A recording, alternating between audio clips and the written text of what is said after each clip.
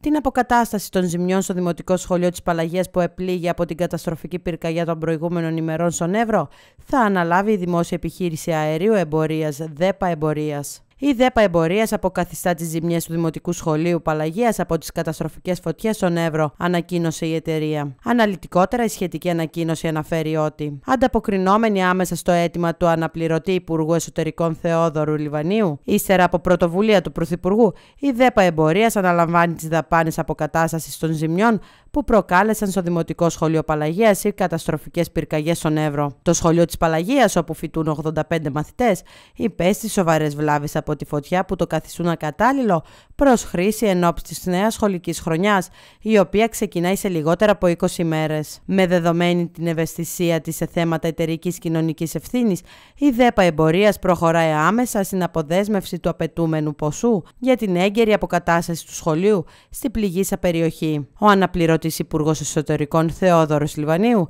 δήλωσε σχετικά. Ευχαριστώ θερμά τη διοίκηση της ΔΕΠΑ Εμπορίας για την άμεση ανταπόκρισή της στο αίτημά μου για την αποκατάσταση του Δημοτικού Σχολείου Παλαγία, καθώς για τη διαχρονική ευαισθησία που επιδεικνύει σε θέματα που άπτονται των κοινωνικών αναγκών. Οι έκτακτες συνθήκες που επικρατούν λόγω των καταστροφικών πυρκαγιών σε σχεδόν όλη τη χώρα έχουν θέσει σε πλήρη κινητοποίηση τον κρατικό μηχανισμό για την άμεση καταγραφή και αποκατάσταση των ζημιών. Σε αυτή τη δύσκολη διαδικασία είναι αναγκαία η αλληλεγγύη και η συνεργασία όλων μας, προκειμένου να επουλωθούν το ταχύτερο δυνατό οι τεράστιες πληγές που αφήνει πίσω τη η πύρινη λέλαπα. Ο Δήμαρχος της Αλεξανδρούπολης Γιάννης Ζαμπούκης δήλωσε: Οι καταστροφές από την πυρκαγιά αφήνουν ανεξίτηλα σημάδια σε όλο τον Δήμο, προκαλώντας σοβαρά προβλήματα στην καθημερινότητα των Δημοτών. Ευχαριστώ τον αναπληρωτή Υπουργό Εσωτερικών κ. Λιβάνιο για τον άμεσο ενδιαφέρον που επίδειξε για την επισκευή των ζημιών που υπέστη στο σχολείο και φυσικά τη διοίκηση της ΔΕΠΑ Εμπορίας που έσπευσε να ανταποκριθεί με την κάλυψη του κόστους των εργασιών. Χάρη στη συνδρομή του στο Δημοτικό Σχολείο Παλαγία, θα μπορέσει να υποδεχτεί τους μαθητές του έγκαιρα για την έναρξη της νέας σχολικής χρονιάς. Από την πλευρά του,